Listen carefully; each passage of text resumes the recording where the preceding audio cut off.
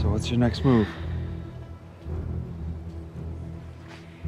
Well, I'm leaving LA. Not sure where I'll end up.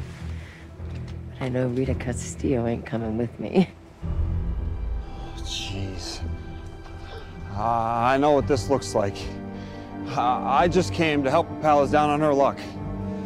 After everything she's done to me. I begged for his help. He took pity on me, that's all this is. Maybe we should go somewhere and sit down. Yeah, let's talk this out. So you can tell me more lies? No. I'm sick of lies.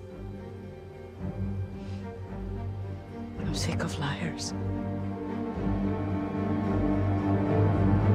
Catherine, for God's sake, what are you doing? Mein Gott! She's trying to take you from me like she did my papa. Oh, that's ridiculous. Catherine, please don't do this.